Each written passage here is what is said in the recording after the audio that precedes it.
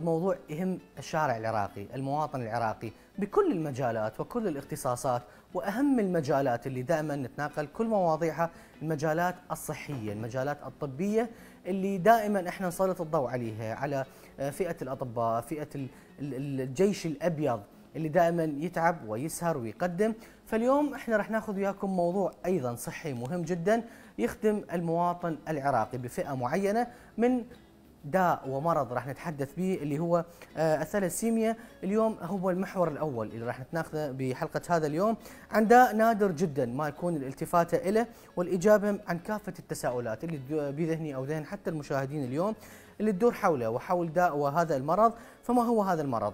وكيف يمكن علاجه؟ وشلون يمكن أن نتجنب هذا المرض وأعراض هذا المرض؟ وكل هذه التفاصيل والتساؤلات أكيد اللي ببالي وببالكم وفي بال أي شخص اليوم يتساءل عن هذا المرض وليش ماكو التفاته آه، لهذا الموضوع وليش ماكو الإجابات الكافية لكل هذه التساؤلات. لكن اليوم داخل الاستوديو راح تكون اكو إجابات كافية وافية لهذا المرض مع الدكتور هيثم العبيدي مدير قسم تعزيز الصحة في وزارة الصحة. صباح الورد والعافية ورمضان كريم عليك. صباح الخير والعافية. الله يخليك أستاذ. نورتنا دكتور. وسهلا. آه، دكتور بداية يعني أريد أعرف منك ونعرف كل المشاهدين آه، شنو مرض الثاليسيميا وشنو أعراض هذا المرض؟ نعم أنا أشكرك وأشكر القناة حقيقة للاهتمام بهذا الموضوع آه، حاليا إحنا بصدد يعني حملة وطنية كبرى للتوعية حول مرض الثلاسيميا لما له أهمية من وتأثير على السياسة الصحية بالبلد وعلى يعني النفقات الصحية نعم. وما يصرف في وزارة الصحة. آه، مرض الثلاسيميا واحد أمراض آه، آه، فقر الدم الوراثية وهو نوع من أنواع تكسر كريات الدم بأسباب وراثية.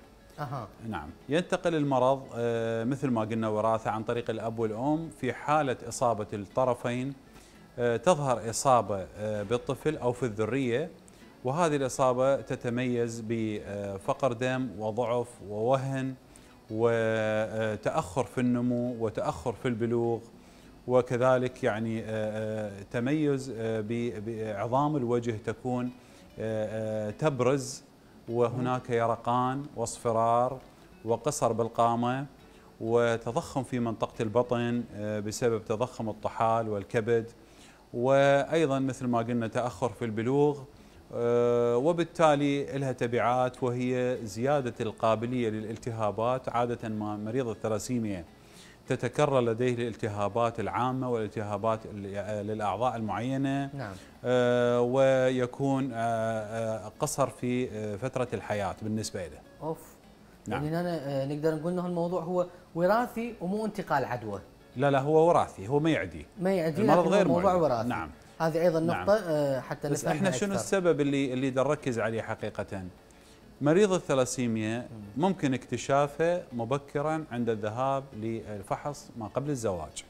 أها. ففحوصات ما قبل الزواج تحليل الدم أصبحت التفاصيل. مهمة جدا بهذا الجانب.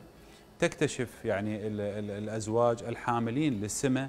في بعض الأحيان هو لا يظهر عليه المرض نهائيا الأب والأم مثلا. ولكن يحملون نسميه إحنا سمة الثلاسيميا. هناك جين عليل لديهم. يتم اكتشافه اكتشاف مبكر. في فحوصات ما قبل الزواج. وتعطى نصيحة يعني للزوجين ل آه، يعني هذا الموضوع في حالة إذا كان الاثنين حاملين المرض يعني راح تكون نسبة الإصابة بالنسبة للطفل عالية جدا.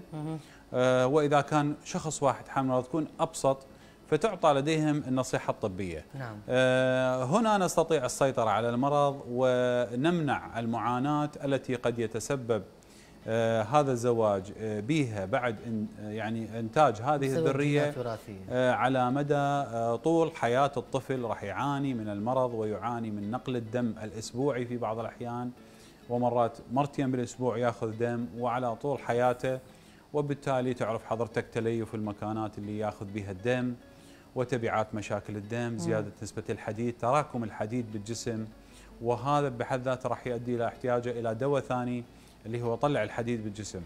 وهنا تكمن المشكلة هي الأدوية التي تعالج تراكم الحديد هي أدوية غالية وغالية الثمن وتكلف الدولة وتكلف المواطن نفسه. وفي بعض الأحيان آه، تدخل في شحة مثل ما صار في فترة جائحة كورونا.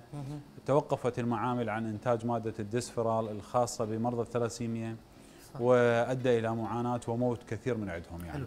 طيب هنا أنت قبل شوي ذكرت إنه قصر القامة وكل هاي الإعراض والتفاصيل عن أنواعها بصورة نعم. عامة، نعم. يقدر يمارس الرياضة اللي يتعرض لهذا الداء والمرض؟ هو حقيقة عندنا أنواع منه النوع البسيط اللي هو نسميه إحنا الألفا ثلاسيميا اللي هذا راح يكون آه، إنسان طبيعي لكن هو حامل مرض هذا ما عليه مشكلة إلا في بعض الأحيان يصير عنده فقر دم ويحتاج نقل دم بين فترة وفترة تمام البيتا ثلاسيميا أو النوع الكامل المرض وهو هذا النوع الصعب واللي تشوفونه حضراتكم يمكن بالصور آه، أو شايفينه بالشارع أو يكون قصير آه، صفر عنده منطقة عظام الوجه آه، مختلفة. هذا صعب عليه حقيقة ممارسة الرياضة لأن نسبة الدم عنده أقل من ستة أو من خمسة يعني تقريبا نصف دم نقول إحنا عنده. فهذا يتعب بسهولة يتعب من أي جهد من أي حركة مرات بالمشي مرات يعني يتعب فدائما يكون مرهق منهك. باي مجهود يبذل نعم ولا يستطيع. طبعا أكيد ممارسة الرياضة بالنسبة ما يستطيع. طيب هنا النوعيتين اللي ذكرتها أنت قبل قليل. نعم. آه يقدرون إنه يمارسون حياتهم الطبيعية إنه يتزوج وينجب أطفال؟ أه حقيقة أه النوع الأول يقدر طبعا. النوع الثاني اللي هو الاعتيادي. الاعتيادي اللي هو كان حامل مرض لكن مشكلته إذا كان هو حامل الجين وما يدري به وزوجته وتم اكتشافه بفحوصات ما قبل الزواج. أه الاثنين. الطفل راح يطلع كامل المرض يعني هذا الصعوبة. آه النوع الثاني آه اللي هو الشديد وعندنا هيك حالات بالعراق إحنا بالعراق يعني تحكمنا بعض الأمور العرفية والعشائرية صح. وعادات وتقاليد خاطئة في بعض الأحيان هو بي ثلاسيميا ومشخص بيتا ثلاسيميا ومريض وتعبان ويزوجونه أهله يريد يشوفون أولاده طبعا في كثير من الأحيان هو يكون عنده عقم وهو غير قادر على الزواج أصلا يعني أوف. نعم لأنه عنده يصير تأخر بالبلوغ ومرات فشل بالبلوغ عنده يصير مم. وكذلك يصير عنده يعني آه، ضعف بتاخر آه، بالنمو نعم. فيبقى قصير يعني نقول طفولي يعني جسمه فاهمك فاهمك. نعم فبهاي الحالة آه، لا يكون قادر على الزواج إذا كان قادر على الزواج هنا المشكلة يتزوجون وينجبون أولاد أيضا عندهم ثلاسيميا وعندنا إحنا عوائل حقيقه في العراق. آه، كلهم يعانون من الثلاسيميا وكلهم يعانون من نقل الدم وينتظرون يعني مادة الدسفرال أو الدواء في حالة يعني صار بها شحة. يعني هي هذه المشكلة اللي نعاني إحنا منها اليوم بشارعنا العراقي اللي قبل شوي نوهت عليها أنت اللي هي الفحوصات الدورية. طبعا. وفحوصات اللي ما قبل الزواج. يعني هواي ناس مستهينة بهذا الموضوع. أكيد. على أنه يلا هو شنو قابل شكو؟ نعم. أنت ما بيك شيء هو ما بيك شيء يعني هذه الأخطاء الشائعة الكبيرة عندنا اليوم. إحنا إحنا يمكن إذا مو الأب والأم عذرا نعم. ولا الجد والجدة ممكن إنه وراثة تكون من من الأجداد اللي أبعد. بالضبط بالضبط. هاي الأمراض اللي هي تنتقل. نسميها المتنحية. إحنا هاي صفات متنحية. نعم. تحتوي على جينات. هذه الجينات قد تنتقل من جيل إلى جيل ولا تظهر. صح. وممكن إذا اجتمع اثنين راح يظهر في جيل رابع مثلا هو جاي من الجيل الأول. آه موضوع حقيقه يعني الأمور فحوصات ما قبل الزواج اللي نوهت إلى حضرتك والفحوصات دولة مهمة جدا. نعم. يعني نكتشف كثير من وأريد يعني أنوه هنا للمواطن إنه إحنا في فحوصات ما قبل الزواج هو يتوقع إذا انكشف أكو مرض راح ينمنع من الزواج. صح. هذا غير موجود. هنا تأتي فقط مشورة طبية.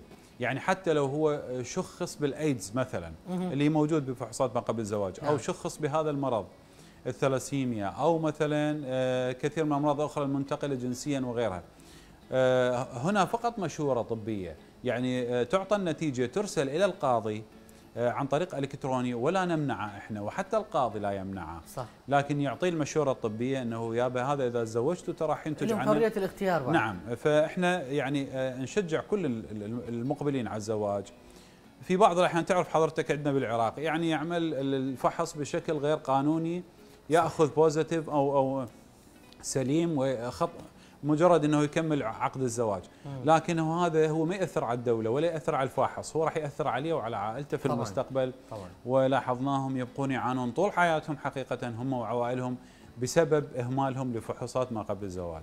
هنا يعني كلا الجنسين المرأة والرجل. نعم. يعني هنا نسبة متساوية إنه بموضوع التأثير الوراثي نعم حقيقة يعني هو ينتقل السمة الوراثية مثل ما قلت لحضرتك يعني تنتقل آه، آه، بالالفا ثلاسيميا عندنا إحنا أن أبسط لك إياها عندنا أربع جينات. نعم. يحتاج أربعتهم حتى يظهر المرض. فلذلك هذا النوع آه، بسيط. النوع الثاني يحتاج اثنين. الظهور يظهر عند الاثنين. أها. المرض يظهر عند الاثنين نعم. حلو. هنا الأطفال اللي ينصابون بهذا المرض يأثر عليهم بالنمو العقلي؟ حقيقة هو بالبداية ال- آه، تظهر بعض الأعراض مبكرة. من عمر ثلاثة آه. أشهر إلى ستة أشهر إسهال مستمر في بعض الأطفال. نعم. آه، ممكن يكون عندهم حمى في مستمرة يعني هي ليست حمى بسيطة يعني تستمر أسابيع وأشهر. نعم. آه، كذلك يعني آه، آه، تأخر في النمو يعني يظهر آه، آه، آه، عندما يذهب يعني المركز الصحي هناك إجراء فحص ال- النمو. اللي هو يصير ويا كل آه، لقاح. شه كل شهرين. صحيح. راح يلقون إنه هذا متأخر بالنمو عن عن. أقرانه. هذه نقطة. يعني ممكن آه. تلاحظ مبكرة جدا. آه، وبالتالي يعني هذه بالإمكان آه، آه، اكتشافه. آه، مبكر إذا ما آه، العائلة التزمت بالفحوصات الدورية وأخذت المشورة الطبية الصحيحة. يعني هنا أنا أيضا اكدت على نقطة ثانية. أنت بنفس الموضوع. إنه كيفية يعني مراقبة الأطفال وأيضا نعم. فحصهم بشكل دوري نعم. أخذ اللقاحات الدورية بشكل منتظم بالضبط. لأنه إحنا حتى هذا الموضوع اليوم بنعاني منه وأكيد أنتم مارين بهاي الحالة يعني بعد فوات الأوان يجي والله الطفل ابني راح يروح مني وهاي الأمور لأن بسبب بعض العقول نعم. إنه ما بي شيء الطي فلان علاج الطي نعم. فلان شيء مو اني هم نفس الشيء هذه الأمور اللي إحنا ما نواكبها ويا التطور اللي يصير عندنا اليوم اليوم اللي حتى يعني ال- الأمراض اللي ما نعرفها من دا تجي ومن تطلع واللقاحات اللي دا تصير أيضا لازم أكو التزام بموضوع اللقاحات والفحوصات الدورية للأطفال إحنا أستاذ مصطفى عندنا مشكلة حقيقة بالوعي الطبي، بالوعي الصحي. صح. إحنا ما عندنا وعي صحي. إحنا آخر الدول التي لقحت، آخر الدول التي تقبلت اللقاح، صح آخر الدول التي تقبلت المرض ولحد هذه اللحظه هناك ناس لا تتقبل صح. المرض ولا تتقبل اللقاح بالنسبة لفيروس كورونا. صحيح وكثير من الأمراض، عندنا مشكلة هسه حاليا يعني وسببت لنا وفيات بالأطفال. حضرتك سامع بم إحنا يسمونه السقوة. السقوة هذه الطفل يكون يعاني من مشكلة مثلا عنده إسهال أو عنده حمى نعم إيه، يعطوه مواد يعني اللي هي يعني مواد لا يتحملها مثلا بها دهن أو بها شحوم أو كذا وهو صغير يعني لا أقل من سنة مم. يسقونه حتى يتوقف عنده الإسهال. وبالتالي تسبب زيادة بالمرض ووفيات عندنا كثيرة بسبب مشكلة السقوة. يعني هذه هم أنا فرصة راح أستغلها. يا ريت والله. يعني أنا حقيقة مسؤول عن التوعية في وزارة الصحة. موضوع السقوة مشكلة يا أخوان يسبب لنا وفيات بالأطفال.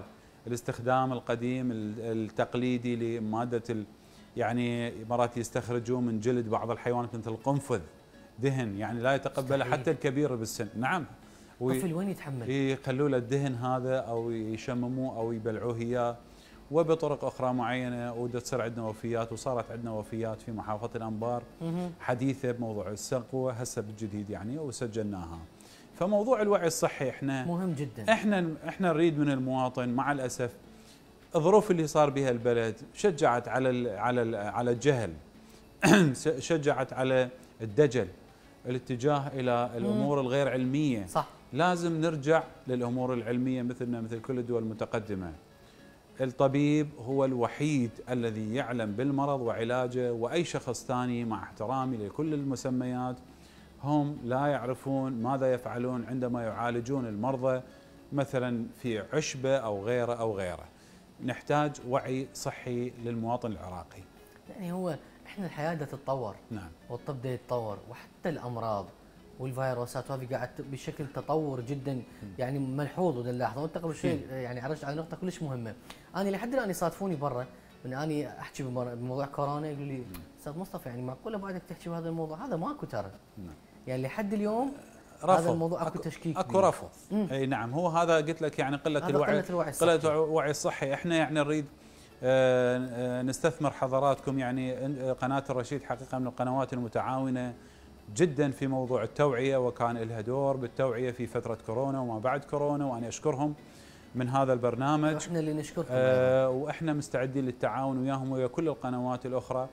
الآن إحنا في حملة الثلاسيميا ونرجو التوعية حول هذا الاتجاه ونرجو من جميع المواطنين الذين لديهم مريض في عوائلهم أو في أقربائهم يعاني من مرض الثلاسيميا أن يهتموا بفحوصات ما قبل الزواج قد يكون لهم سمة وراثية منتقلة وقد يسبب لهم مشكلة.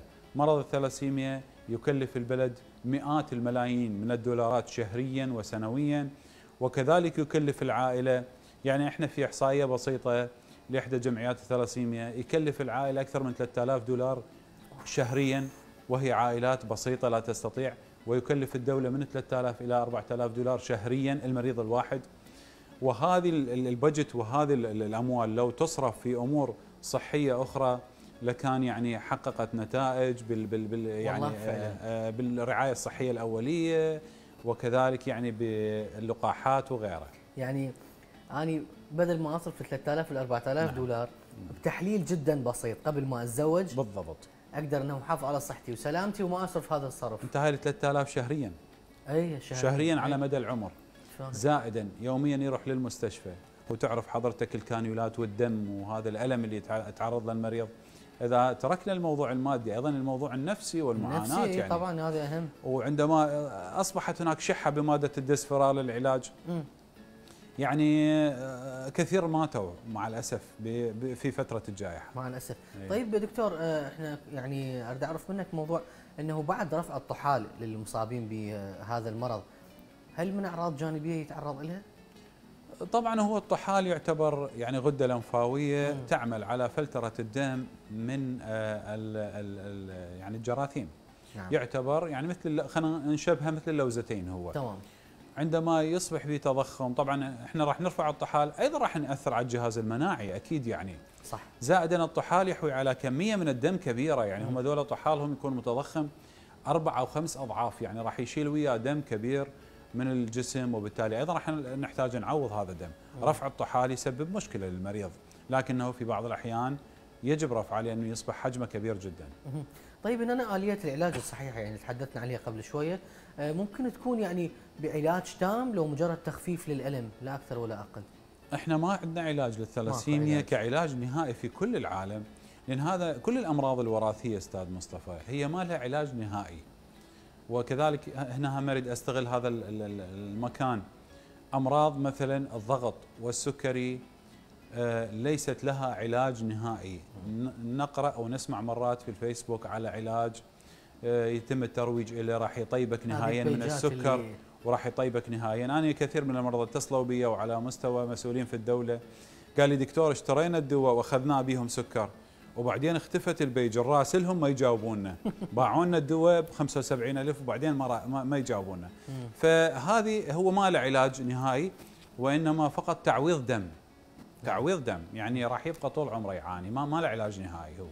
نعم. يعني وأنت حكيت قبل شوية إنه توفير العلاج صعب لهم بالضبط. وحالتهم النفسية والمعنوية أكيد أكيد, تتعب أكثر لأنه نعم. إحنا يعني إذا أنت واحد يروح يحلل مرتين دم نعم. بعد ما لك قابلية إنه تتحمل الموضوع. نيدلات إعطاء الدم أستاذ مصطفى مو مثل الكانولا العادية ومو مثل سحب الدم تكون آه كبيره تختلف. كبيرة تكون مؤذية مؤلمة.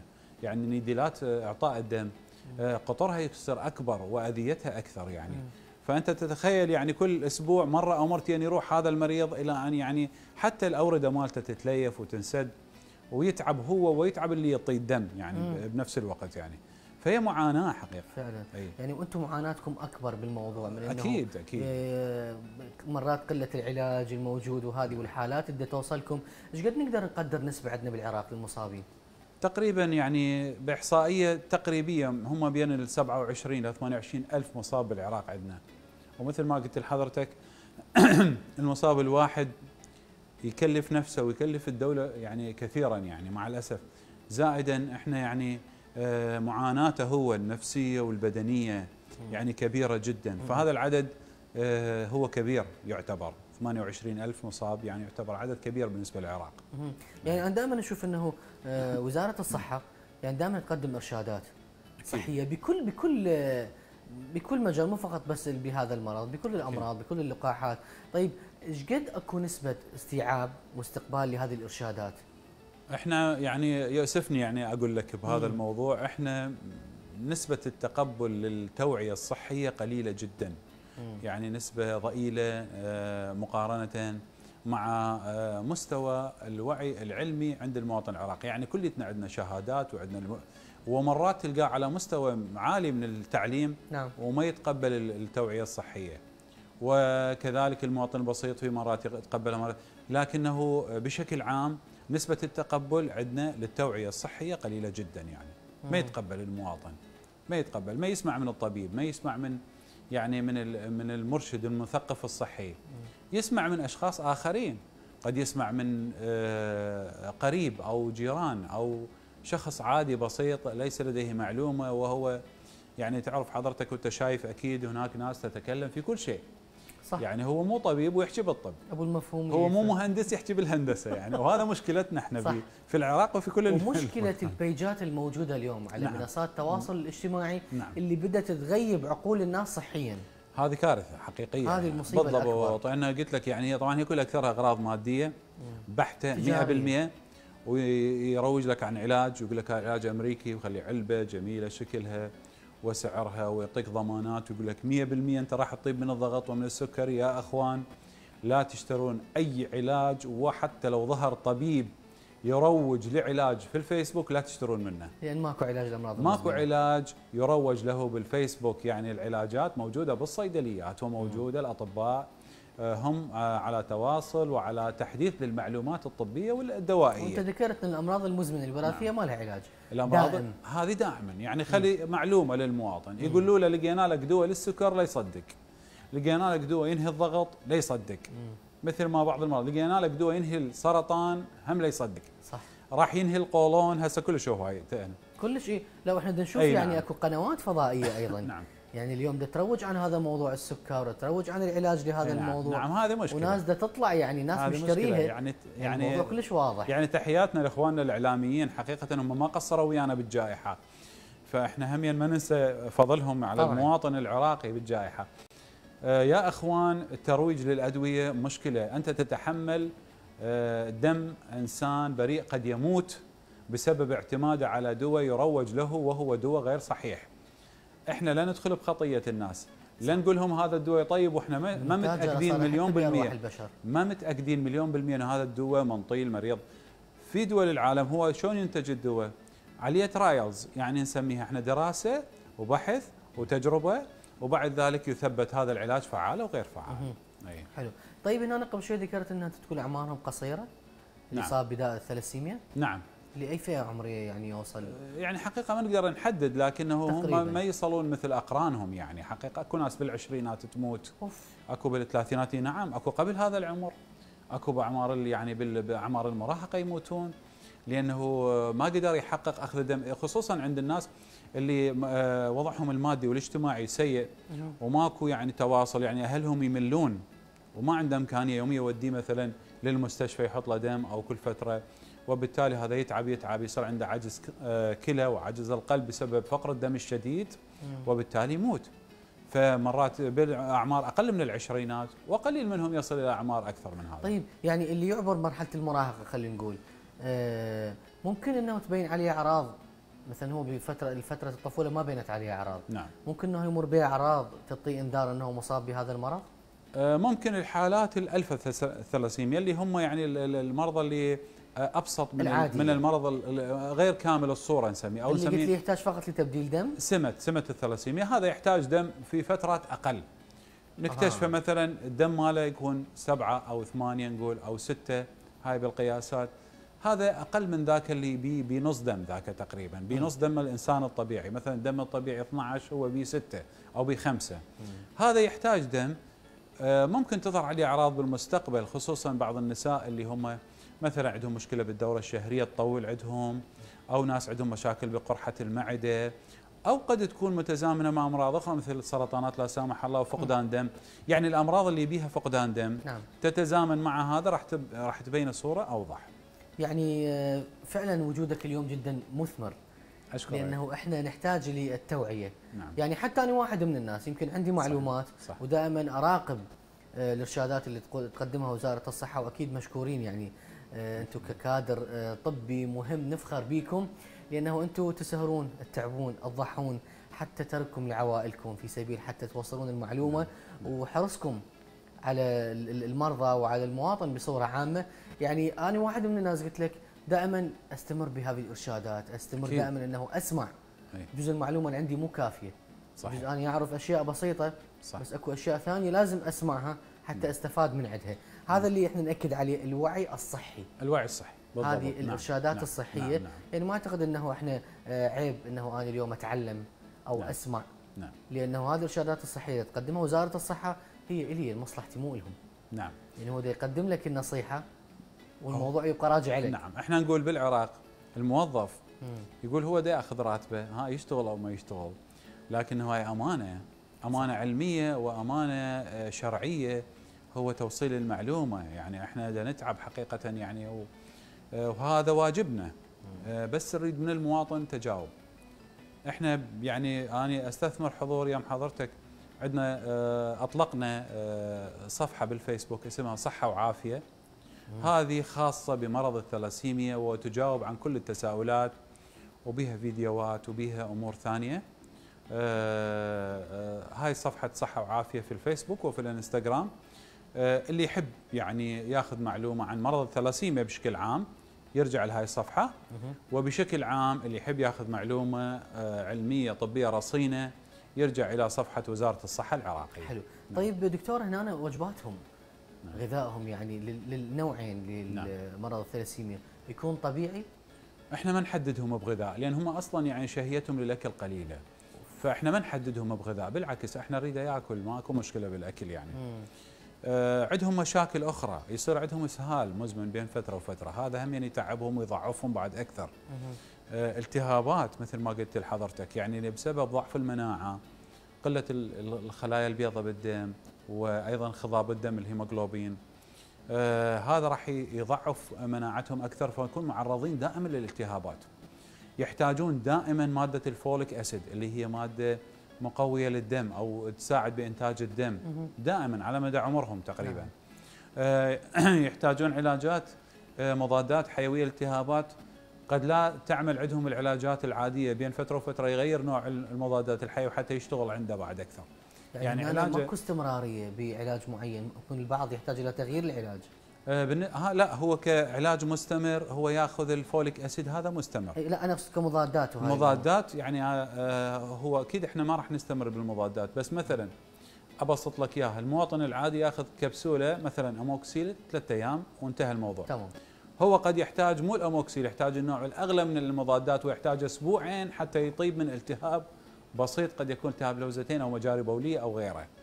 يعني بسبب يعني آه، نقص المناعة مثل مريض السكر صح. يعني التهابه يطول يعني مم. نقول هيك. يعني هنا آه، المعادلة واحدة إنه أي. مرض يخسرنا أغلى شيء عندنا اللي هي صحتنا. أكيد. ويخسرنا المادة اللي ما نقدر نوفرها إحنا اليوم. بالضبط صح. يعني الموضوع يعني مترابط بظروف اقتصادية إحنا صعبة نعيشها اليوم. هو يعني ما عنده قابلية يشتغل جسمه تعبان ما عنده قابلية إنه صح. يعني مرات أكو ناس يمكن نعم. أكيد تمارين عليك دكتور.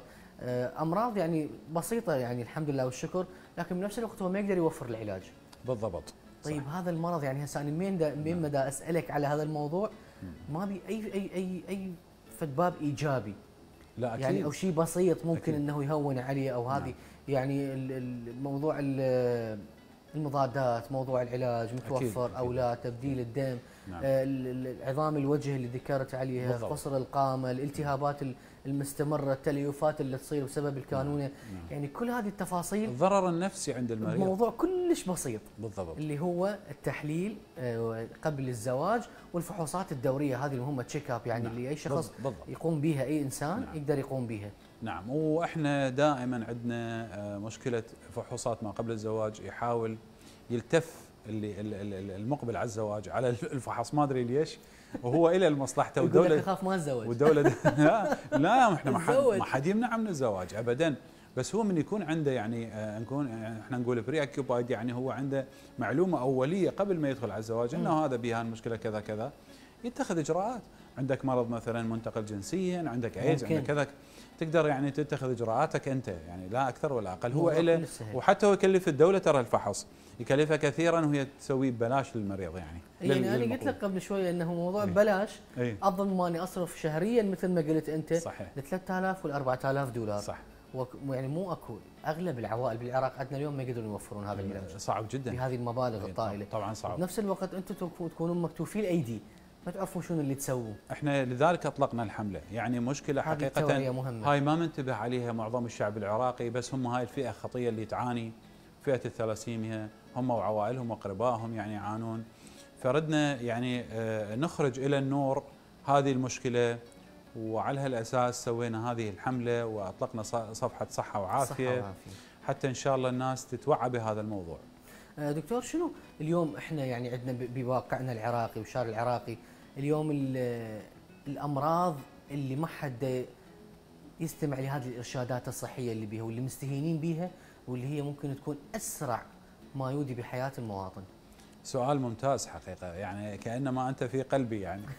يعني أكو أمراض الناس هاملتها مهتمة بأمور ثانية وهاملة أمراض. يعني كثير اني أشوف مرضى أو مريضات يجون مهتم بموضوع ثاني جلدي وهو عنده فقر دم شديد. مثلا فقر الدم. عندنا مرض آه، مستوطن بالعراق ونسب عالية جدا من النساء والرجال عندهم فقر دم وهو ما يدري. وهذا طبعا يودي به إلى عجز القلب. مرض ضغط الدم. نعم. ارتفاع ضغط الدم. كثير ينكر الحالة. من نقول له أنت بيك ضغط دم يرفض. وهذا رفضه يؤدي إلى آه، آه، تضخم عضلة القلب بعد فترة من الزمن إذا ما أخذ دواء ضغط الدم بشكل مستمر. والتزم بالتعليمات نعم. مرض السكري كل مريض سكري إن شخص نقول له أنت بيك سكري يرفض الدواء ويرفض التشخيص يستمر فترة ست اشهر إلى أن يقتنع بعدين آه، يعني يفترض بعد فوات الأوان بعد فوات الأوان يسبب له هاي المشكلة. الأمراض المخفية مثل أمراض تكسر كريات الدم آه، هناك عندنا بعض الأمراض الوراثية اللي يتم اكتشافها بوقت مبكر عن طريق آه، ما نسميه إحنا غربلة الولادة. هذا برنامج موجود بوزارة الصحة دائره الصحة العامة. نعم. في كل مراكز صحية بالعراق. أول ما ينولد الطفل أكو بعض الأمراض. إذا شخصت مبكرا ممكن يعيش الطفل. وإذا تركت بعد أسبوعين ثلاثة بعد ما ممكن علاجها ويموت. هذه أمراض الغربلة أيضا من الأمراض المخفية. نعم. أه وغيرها. يعني إحنا المريض بشكل عام موضوع الفحص الدوري كل ست اشهر تحليل أو يشوف طبيبه. يعني هذا موضوع مهم همين حتى يقدر يكتشف بعض الأمراض وغيرها يعني. يعني كل شيء يكتشف ببدايته سهل. علاجه سهل. سهل جدا. بس بعد فوات الأوان تكون صعوبة. نعم. وبالذات يعني أكو بتقدم العمر أيضا يكون العلاج صعب. أكيد يعني مثل ما أنه هو بمقتبل العمر نعم. ومكتشف هذا الموضوع نعم. تكون سهولة علاج. الاستقبال العلاج نعم. يكون أسرع بالضبط. مما أنه يتقدم به العمر. بالضبط. وصحة وعافية دائما لك أشكرك. ولكل كوادرنا الطبية بوزارة الصحة ولكل كوادرنا بكل مستشفياتنا بكل مراكزنا الصحية. نتمنى يا رب لهم دائما الصحة والعافية ونتمنى دائما آه، هذه ثماركم الخيرة اللي نستفاد من عندها إحنا آه، وكل شعبنا يا رب إن شاء الله دائما تطرح بعقولكم الناضجة الفاهمة الواعية صحيا اللي لازم نستفاد منها. وخلي نستغلها مو مشكلة. خلينا. نستغل هذه العقود الموجودة عندنا لصالحنا. حاضرين للاستغلال. يعني هم يعني هذا أجمل استغلال. حاضرين. يعني اللي هم حابينه وتستغلوه نعم. بإرشاداتهم بالوقاية بالفحوصات الدورية. يعني اللي هي جدا جدا بسيطة والله العظيم. ومجانا أفضل ما انت راح تدفع 3000 و4000 دولار وما تدفع رشتات العلاج اليوم اللي جدا صعبة. وهواي عندنا عوائل اليوم صعبة يوفرون العلاج. وهذه كلها تنحل بشغلة كلش بسيطة. فحوصات دورية التزام وقاية وعي صحي كافي نريد اليوم. آه، حتى نقدر إنه نعبر كل هذه المراحل الصعبة اللي نعيشها اليوم. وكل اللي فقدناه وكل اللي خسرناه بالأمور السلبيه اللي مرينا بها من فيروس كورونا وغيره وغيره. بالضبط نعم. كلها سهلة. صحة وعافية بيج موجود لأمراض الثلاسيميا ووزاره الصحة أيضا بيجها موجود وتقدم إرشادات وفرق جوالة كوادر طبية جدا جدا دؤوبة وكل الخير والصحة والسلامة أتمنى لك دكتور إن شاء الله. اشكرك شكرا, شكرا لك دكتور. إذا مشاهدينا الكرام محورنا اللي كان مع الدكتور هيثم العبيدي مدير قسم تعزيز الصحة في وزارة الصحة اللي كان محور جدا مهم لكل المصابين بمرض الثلاسيميا اللي بكل سهولة أقدر قبل الزواج أسوي الفحوصات الدورية المهمة اللي تضمن سلامتي وسلامة الأجيال القادمة اللي نفخر بها واللي دائما نتمنى إنه عراقنا يكون خالي من أي مرض ومن أي فيروس. ننتقل وياكم إلى فاصل وبعدها نتواصل وياكم بكل فقراتنا اليوم.